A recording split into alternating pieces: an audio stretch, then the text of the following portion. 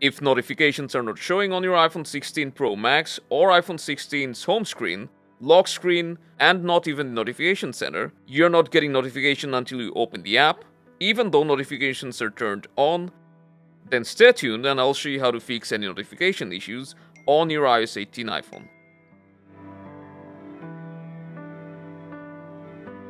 If you're not getting notifications, first of all you need to check if you have focus mode or DND enabled.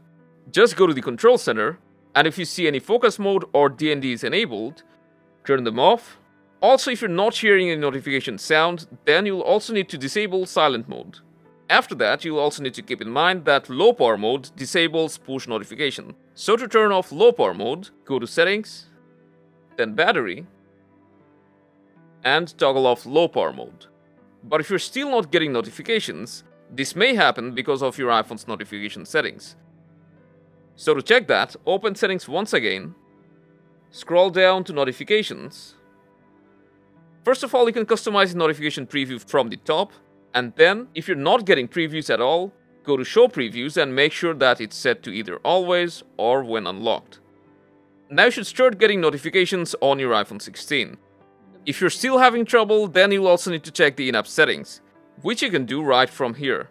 For example, if we go to Messenger, then scroll down, you'll see the in-app notification settings, and by tapping on the notification settings, it will take you to the app notification. From there, just make sure you have turned on notifications for all alerts, and your problem will be fixed. If you're still not getting notifications, then the last settings that you can check is background app refresh. To check that, from the settings, you'll need to go to General, then Background App Refresh.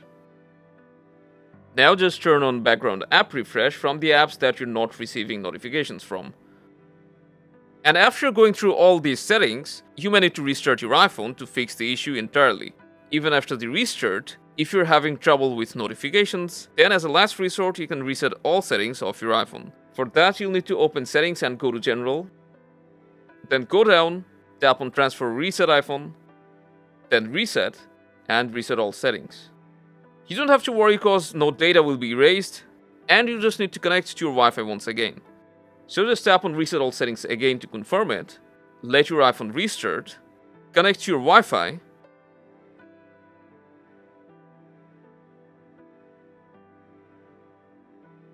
and now you should start receiving notifications from all the apps. So if this worked for you, let us know by leaving a like and subscribe for more.